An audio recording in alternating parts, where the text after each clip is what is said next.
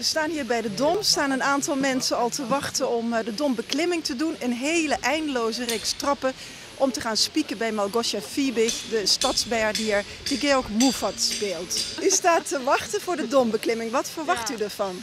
Nou, een stukje te ervaren van hoe dat is voor die bijaardier om daar te spelen. En uh, je hoort natuurlijk altijd de klokken wel luiden, maar, uh, uh, en de muziek. Maar hoe dat dan is om daar te zitten, dat lijkt me heel leuk om dat een keer mee te maken. Ik, ik ben gewoon heel nieuwsgierig om die, ook de, klokkentoren, de klokkentoren zelf te zien, van binnenuit.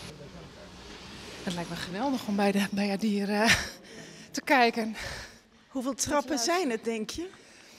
Ik verwacht meer dan 100. Maar ik weet We zijn het nog aan het begin, hè? niet. We gaan, we gaan ze tellen zo. Het lijkt me helemaal goed.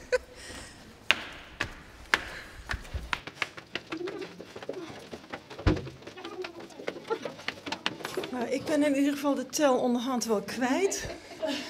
En uh, het zijn er flink wat in ieder geval. 83, 84, 85.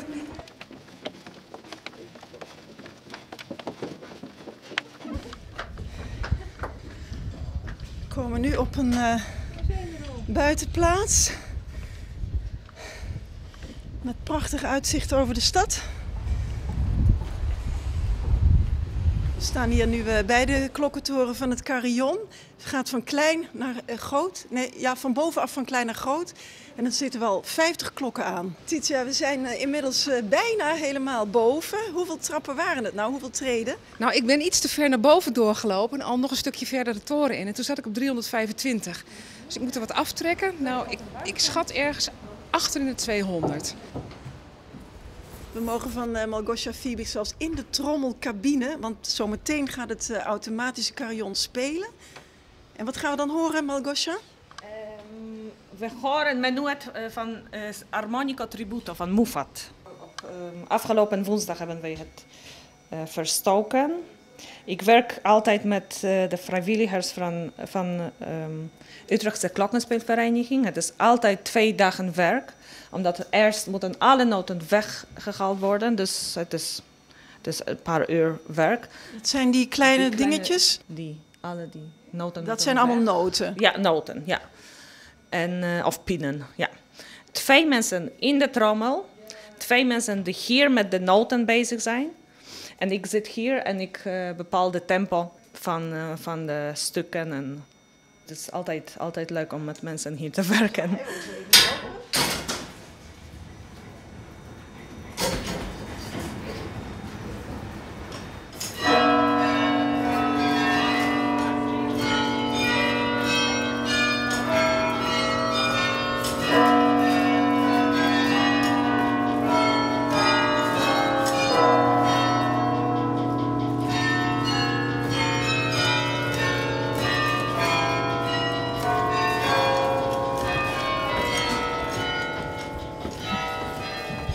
Staan we echt bij de klokken.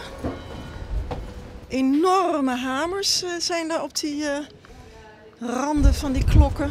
Om ze in beweging te brengen, of beter gezegd, om ze tot klinken te brengen. En hier komen we dan aan bij de zogenoemde skybox van eh Malgosia.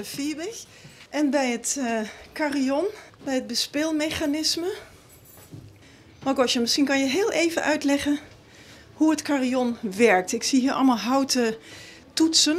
Ja, ehm, er zijn houten stokken, toetsen inderdaad. Eh, als je het voor de eerste keer ziet, dat misschien lijkt het een, een beetje als een piano keyboard. Alleen er zijn geen wit en, en zwarte stokken, dus dat is een beetje moeilijker.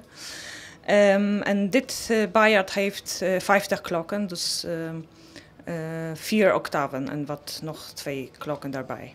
En wat ga jij vandaag spelen? Eh, ik speel eh, vandaag ehm, alleen composities van Mufat. Ik heb eh, suite Leita Poesis. Ik heb sonata, vijfde sonata van eh, Ar- Harmonica Tributo. Heel mooi met heel prachtige ehm, passacaglia. En clavecimbal suite ook van Mufat.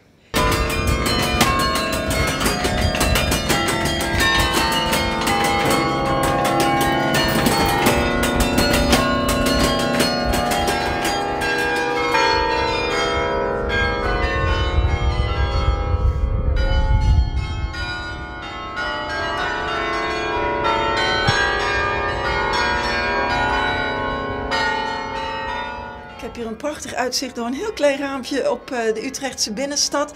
Terwijl Malgosha Fiebig dus op het carillon van de Dom speelt.